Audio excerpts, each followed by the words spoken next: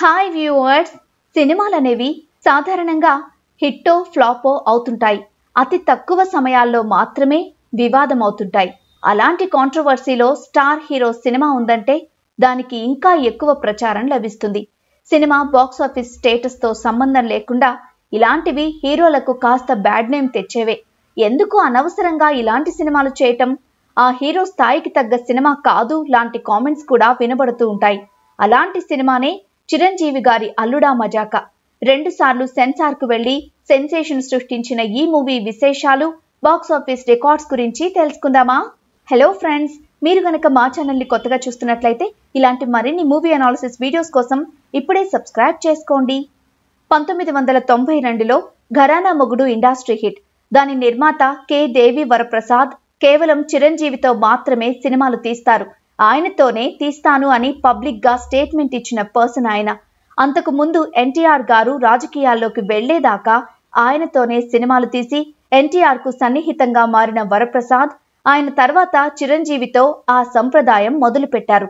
చట్టంతో పోరాటం మంచి దొంగ కొండవీటి రాజా ఘరానా మొగుడు. ఇలా వరుసగా చిరంజీవి సినిమాలు ప్రొడ్యూస్ చేశారు. మధ్యలో బాలకృష్ణతో బలే దొంగ అనే మూవీని కూడా నిర్మించారు. ఘరానా మొగుడు తర్వాత చిరంజీవితో ఎలాంటి మూవీ చేయాలా అని డైరెక్టర్ కె. రాఘవేంద్రరావు గారితో డిస్కస్ చేశారు. జగదేక వీరుడు అతిలోక సుందరి లాంటి ఫ్యాంటసీ మూవీ తీద్దామని చెప్పారు రాఘవేంద్రరావు. ముందు చిరంజీవి డేట్స్ ఇవ్వాలిగా. చిరుకున్న కమిట్మెంట్స్ వల్ల రెండు మూడు సంవత్సరాలు డేట్స్ అడ్జస్ట్ చేయలేని పరిస్థితి. ఈలోపు వేరే హీరోతో సినిమాలు చేయొచ్చు కదా అని చిరంజీవి గారంటే లేదు మీతోనే చేస్తాను ఇంకెవ్వరితోనూ చేయనని తేల్చి చెప్పారు దేవి వరప్రసాద్. రెండేళ్ళు గడిచిపోయాయి. పంతొమ్మిది వందల తొంభై నాలుగులో హలో బ్రదర్ బ్లాక్ బస్టర్ వెంటనే ఈవివి సత్యనారాయణ గారిని పిలిపించారు వరప్రసాద్. చిరంజీవి గారికి ఇలాంటి మాస్ కథ ఉంటే చెప్పండి చేద్దామన్నారు. అప్పటికే ఈవీవికి వరప్రసాద్ గారితో పరిచయం ఉంది. చిరంజీవితో సినిమా చేయాలని ప్రయత్నించారు కూడా. అయితే వర్కౌట్ అవ్వలేదు. ఇప్పుడు హలో బ్రదర్ విజయం ఈవీవిని టాప్ డైరెక్టర్స్ లిస్ట్లో వేసింది. సో ఆయనకు పెద్ద బ్యానర్స్ నుండి అవకాశాలు రాసాగాయి. ఈవీవి గురించి చిరంజీవి గారికి చెప్తే చిరు కూడా గ్రీన్ సిగ్నల్ ఇచ్చేశారు. దాంతో వరప్రసాద్ తన నెక్స్ట్ మూవీ చిరంజీవి ఈవీవీల కాంబినేషన్లో అని స్టేట్మెంట్ ఇచ్చారు. ఈవీవి గారితో రెండేళ్ళ నుంచి టచ్లో ఉంటున్న అప్పటి అప్కమింగ్ రైటర్ పోసాని కృష్ణమురళికి ఈ వార్త తెలిసి ఈవీవి గారిని కలిసి చిరంజీవి కోసం ఒక కథ ఉందని చెప్పారు. అది విన్న ఈవీవికి బాగా నచ్చేసింది. తర్వాత నిర్మాత వరప్రసాద్ దగ్గరికి వెళ్ళి ఈ కాన్సెప్ట్ చెప్తే ఆయన కూడా ఓకే చెప్పేశారు. ఇక చిరంజీవి గారిని ఒప్పించాలి. ఎస్పి పరశురాం కంప్లీట్ చేసిన చిరంజీవి దేవి వరప్రసాద్కు డేట్స్ ఇచ్చారు కానీ ఇంకా కథ డైరెక్టర్ని కన్ఫర్మ్ చేయలేదు. అప్పుడు ఈవీవి గారిని పిలిపించి కథ చెప్పించారు వరప్రసాద్. చిరంజీవికి కూడా నచ్చేసింది. స్క్రిప్ట్ రెడీ అయిన వెంటనే షూటింగ్కి వెళ్దాం అన్నారు. దాంతో పోసాని ఈవీవి కలిసి స్క్రిప్ట్ రెడీ చేశారు. డైలాగ్ వర్షన్ కూడా పోసాని గారే రాశారు. అందులో కొన్ని డైలాగ్స్ ఈవీవి గారివి కూడా ఉన్నాయి. కేవలం రెండు నెలల్లోనే స్క్రిప్ట్ మొత్తం రెడీ చేసి చిరంజీవి వద్దకు వెళ్ళారు. కొన్ని సీన్స్ మరీ నాటు మాస్గా ఉన్నాయి అంటే అలాంటివే మీ నుండి ఫ్యాన్స్ ఎక్స్పెక్ట్ చేస్తున్నారని ఈవీవి గారు చిరుని కన్విన్స్ చేశారు.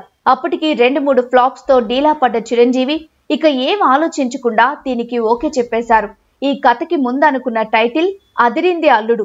అయితే ఇదేదో డబ్బింగ్ సినిమా టైటిల్లా ఉందని నిర్మాత అనడంతో ఘరానా అత్త గడసరి అల్లుడు అని మార్చారు. తర్వాత ఈవీవి మోహన్ బాబుతో అదిరింది అల్లుడు చేయటం విశేషం. ఇక కాస్టింగ్ మొదలైంది. హీరోయిన్స్గా రంభ రమ్యకృష్ణ. రంభకు ఇదే చిరంజీవితో ఫస్ట్ మూవీ. చిరంజీవి చెల్లెలుగా అప్పటికే హీరోయిన్గా పేరు తెచ్చుకున్న ఊహ. చిరంజీవి కాబట్టి చెల్లెలు పాత్రకు ఒప్పుకున్నట్లు చెప్పారావిడ సత్యనారాయణ ఏవిఎస్ బ్రహ్మానందం మహేష్ ఆనంద్లతో కాస్టింగ్ రెడీ. కీలకమైన అత్త పాత్ర కోసం వాణిశ్రీ గారిని అడిగారు.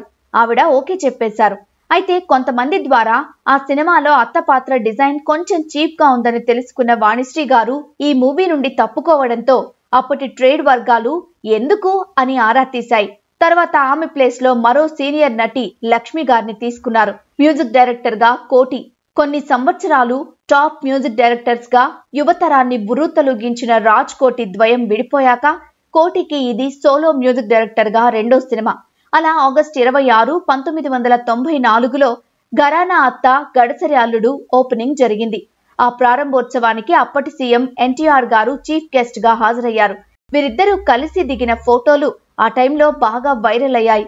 ఆ సినిమా షూటింగ్ అంతా మద్రాసులోనే జరిగింది. అప్పట్లో ఏపీలో సినిమాలకు సంబంధించి ఒక రూల్ ఉండేది. ఒక సినిమా షూటింగ్ సిక్స్టీ పర్సెంట్ ఆంధ్రాలోనే జరగాలి. అలా కాకుండా వేరే చోట జరిగితే ట్యాక్స్ డబుల్ అవుతుంది. ఇలా డబుల్ ట్యాక్స్ వల్ల షేర్ బాగా పడిపోతుంది. అప్పటికే భైరవ ద్వీపం మూవీపై ఈ ఎఫెక్ట్ పడింది. అయినప్పటికీ షూటింగ్ అంతా మద్రాసులోనే జరిపారు. ఇందులో చిరంజీవి లుక్ ముగ్గురు మనగాళ్ళు సినిమాలో పెద్ద చిరంజీవి పాత్ర నుండి తీసుకున్నదే. దానికి ఈవీవి గారి trademark mannerism dialogue delivery add చేశారు. ఒకసారి షూటింగ్లో గుర్రం మీద నుండి పడి గాయపడ్డారు చిరంజీవి. దాంతో కొన్ని రోజులు రెస్ట్ తీసుకోవాల్సి వచ్చింది. అందుకే సంక్రాంతికి రావాల్సిన మూవీ పోస్ట్ పోన్ అయింది. ఈలోపు టైటిల్ కూడా మారిపోయింది. అల్లుడా మజాకా అని పేరు మార్చారు.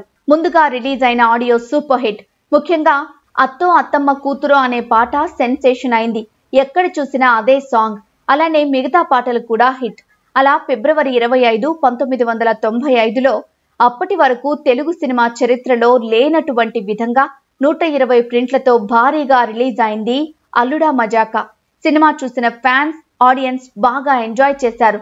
చిరంజీవి మాస్ కామెడీ ఫైట్స్ సాంగ్స్తో మూవీ సూపర్ హిట్ టాక్తో దూసుకెళ్తోంది. ఓ నాలుగు వారాలు బాగానే ఉంది. ఇక అక్కడి నుండి మొదలైంది గొడవ.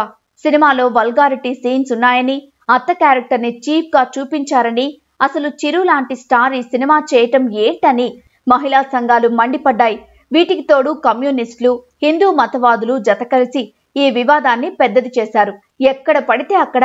ముఖ్యంగా హైదరాబాద్ వైజాగ్లలో ధర్నాలు చేశారు. మొదట్లో పెద్దగా పట్టించుకోకపోయినా రోజు రోజుకి ఉధృతమవుతున్న ఈ వివాదాన్ని పరిష్కరించాలని సెన్సార్ బోర్డు నిర్ణయించి మళ్ళీ సినిమాకు సెన్సార్ చేశారు. అప్పటి వరకు మూవీ ప్రదర్శన ఆపేశారు. దాంతో మెగాస్టార్ ఫ్యాన్స్ రయ్యమని లేచారు. సినిమాని ఆపడానికి వీల్లేదని హైదరాబాద్లో పెద్ద ఎత్తున ధర్నాలు చేశారు. థియేటర్ల దగ్గర అలజడి సృష్టించారు. దాంతో సెన్సార్ బోర్డు కొన్ని సీన్స్ అండ్ డైలాగ్స్ కట్ చేసి మూవీ ప్రదర్శనకు అనుమతిచ్చింది. ఈలోపు ఏకంగా చిరంజీవే మీడియా ముఖంగా క్షమాపణ కోరారు. అందులో అంత అసభ్యత ఏం లేదని కొంతమంది కావాలనే వివాదం చేస్తున్నారని మహిళలు ఎవరైనా బాధపడితే క్షమించాలని చెప్పారు. కావాలంటే ఆందోళన చేసేవారికి ప్రత్యేకంగా ప్రదర్శన ఇస్తామని చూశాక తమ అభిప్రాయం చెప్పాలని కోరారు చిరు. సెన్సార్ కట్స్ వల్ల ధర్నాలు చేసేవారు శాంతించినా చిరంజీవి గారికి మాత్రం కాస్త చెడ్డ పేరునే తీసుకొచ్చింది అలుడా మజాక. అసలు ఇలాంటి మూవీలో చిరు ఎందుకు నటించాడనే కామెంట్స్ కూడా నలువైపులా వినబడ్డాయి. దాంతో తన తర్వాత సినిమాల విషయంలో చిరు చాలా జాగ్రత్తలు తీసుకున్నారు. ఫ్యామిలీ వాల్యూస్ ఉండేలా కథలు రెడీ చేయాలని డైరెక్టర్స్కి చెప్పారు. హిట్లర్ నుండి ఈ మార్పు చిరంజీవిలో గమనించొచ్చు.